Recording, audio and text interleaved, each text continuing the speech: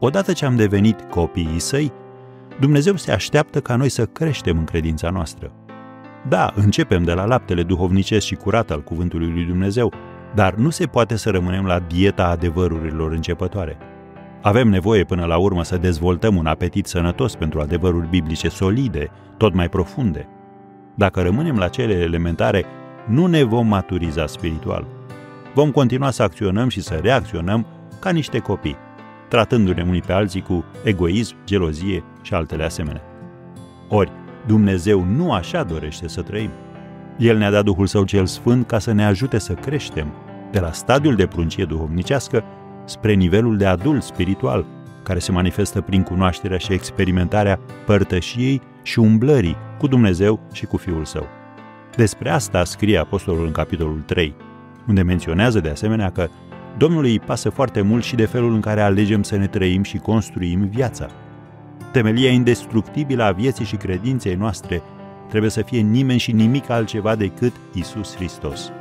Orice altceva se adaugă peste acea primă decizie de a ne încrede necondiționat și necurmat în El. Se poate să fim tentați să clădim folosindu-ne de ceea ce ne oferă lumea, faimă, finanțe, relații, căutarea fericirii, inclusiv a persoanei alături de care să-ți petreci restul vieții. Dar Dumnezeu știe că niciuna dintre acestea nu conferă satisfacții garantate sau de durată. De aceea, Dumnezeu îi avertizează pe creștini despre riscurile și pericolele de a fi prea încrezători în ce privește înțelepciunea omenească.